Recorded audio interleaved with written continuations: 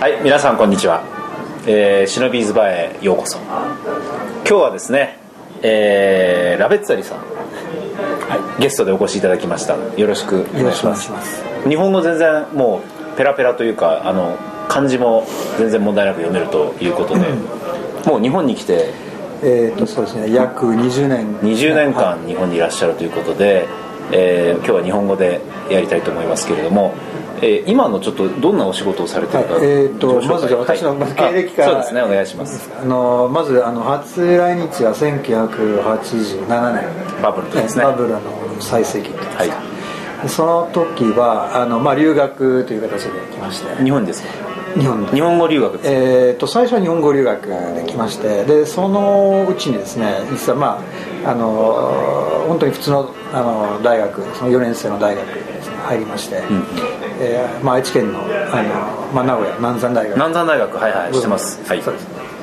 南山大学の経営学部ですね卒業しましてその後は野村証券の国際金融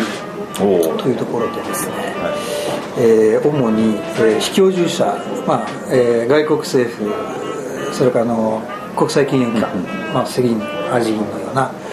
えー、青梅ってやつですね。青梅って、はいはい、よくご存知で、はい、の、えー、いわゆる侍祭の引き受けやってまして、はい、えーと、その後はですね、まあ、外資系証券、えーまあ、UBS その当時はスイスバンクというところだったんですけどスイスバンク ABN アムで今度はあの黒目、はい。居住者主に、えー、政府系金融機関ですね、はいはいはい、それからの、まあ、事業大事業会社の、うん、えー、海外における、えー、資金調達のお手伝いさせていただいて、うんはい、その後は、えー、今度はちょっと変わった会社でですね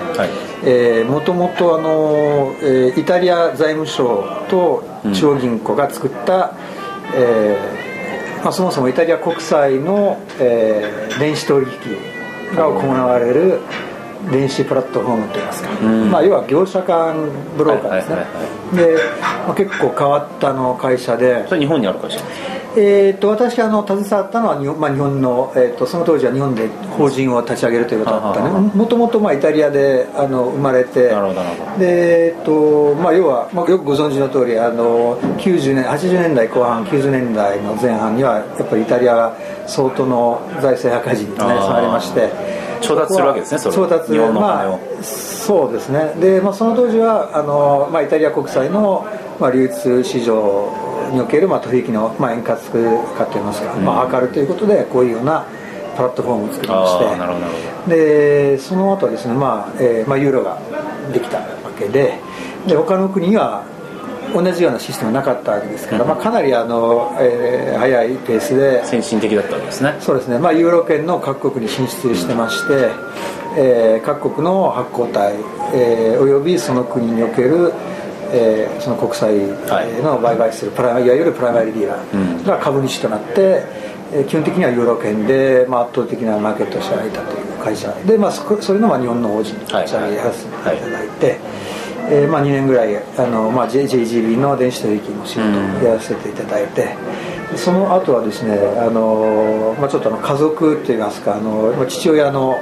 えー、ちょっと病気がありましたんで、はいはい、一時、えー、ミラノミラノですね、まあ、イタリアの。出身ですね、はい。はい。えー、帰りまして、えー、今度はやはりあのもう一回の UBS にですね。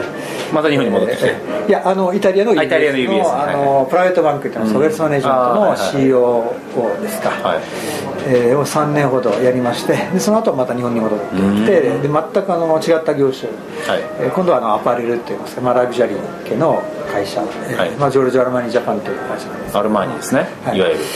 で、まあ、アルマニのグループ会社のや、えー、3社のそれぞれの役員をやらせていただいて去年の11月に退職しまして、うん、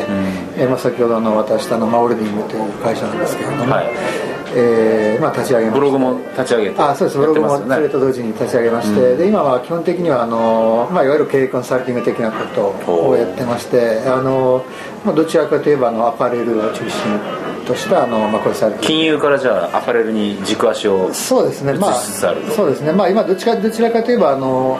まあ、金融で培ったの知識をあのまあ、アパレルにまあ、いかにして生かすまああの主にあの、まあ、資金調達、はい、えー、の手助け、まあ、アドバイズ的なこともまあ、やあのまあ、やろうとしてるところですね。なるほど、はい、ちなみにここのお店はえー、御曹司清安亭という六本木の交差点からほど近いお店なんですけどランチのハンバーグが美味しいというのが石田さん情報らしいです。本当ですか、はい、今ディナータイムなんで、はい、漬物が出てきてますけど。ということでですね、はい、えー、イタリア人から見た金融危機の話をしようと思ったんですが、はい、時間がなくなっちゃいましたなので経歴で経歴でよくわかりました。適当にあの編集していただいて なのでそれは。イタリア人からあの見た金融危機、うん、だけ教えてください。あのそれはですね、はい、あのなんて言うんでしょう。あの今回の金融危機というのは基本的にはあの、まあ、僕だけじゃないんですけどあの大半の見方としては、うん、あの過剰なこう債務にこう誘発された危機じゃないですか。で大体こう金融危機っていうと今までどっちかといえばの公共部門あの公的部門の、まあ、債務過剰で、まあ、特にネマージンマーケットそうだったんですけど、あのまあ、90年代とかですね、まあ、ロシアなり、えー、南米なりあるいはアジア危機っていうのがあったんですけど今回はあのむしろの個人部門で、まあ、アメリカの住宅ローンですとかあるいは消費者ローンですとか、うん、自動車ローンもそうじゃないですか。でイタリアの場合はあのそこまでやはりあの過度にあの借金はあの起きてないと思うんです、うん、まあ、ある程度あの昔と比べて例えばあの外資系の大型小売店舗ですとかですね、まあ、入ってきたり、えー、例えば、まあ、電気製品を解凍しますよね、うん、そこは極度のカップ払いというかあるいはその、あのなんて言うんでしょう。今買って、えー、支払いが始めるのは、えー、1年先あるいは1年半先。据え置きなんですね。そう据え置き。でしかも金利はゼロ。というのは結構ここ数年間ありましたね。これはまああの、まあ、一つの債務ですね。あとはやっぱり、まあ、不動産。やはりあの外資系のあの、まあ、不動産金融のえー、のその、まあ、銀行ですとか入ってきて、えー、購入価格の100%あるいは100%以上お貸ししますよ。というようなものは、まあ、かなりあの普及してきて、まあ、それである程度の、まあ、債務過剰になったところもあります。であともう一つはあのこれはアメリカとは根本的には違うんですけれどもあるある意味での不動産バブルというのもあったわけでありましたよね。でこれはあのまあ賛否両論なんですけれどもこれはユーロの落とし穴であって、で要はあの為替リスクがなくなりました、はいはい、でで金利緩和例えば10年前ぐらいはイタリアの国債の利回りまあ、確かに2桁以上あったわけですね、はいはい、でまあ、ユーロがえー、導入されたおかげで全部こう修練しました、ね、全部修練してきて、うん、で当然あの住宅ローンも安くなりました。あであとはあの海外の投資家から見ますと、えー、今まであの、まあ、その為替リスクはあるわけであのなかなかの足踏み込めなかった、うん、あのいわゆるヨーロッパのあの周辺各国といいますか、うん、あのまあ、スペインですとかあのイタリアギリシャ、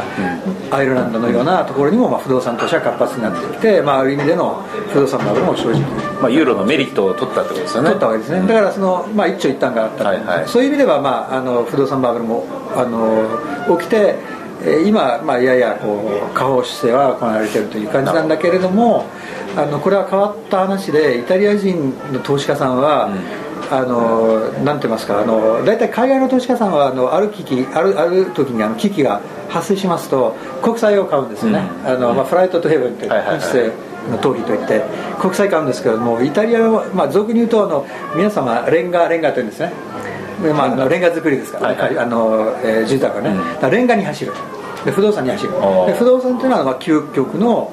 あの資産防衛。というか資産防衛。国債で安全だと。国債よりも安全。場合によって。で国が潰れるかもしれないんですけど自分家は潰れないと。でイタリア人の発想。それはイタリア人の発想なんですね面白いですね。という感じだと思います、はい、という話をじゃあちょっと第2部でまた詳しく突っ込んでみたいと思います。とりあえず、はい、パート1はこちらで終了にしたいと思います、はい、ではまたお会いしましょう、はい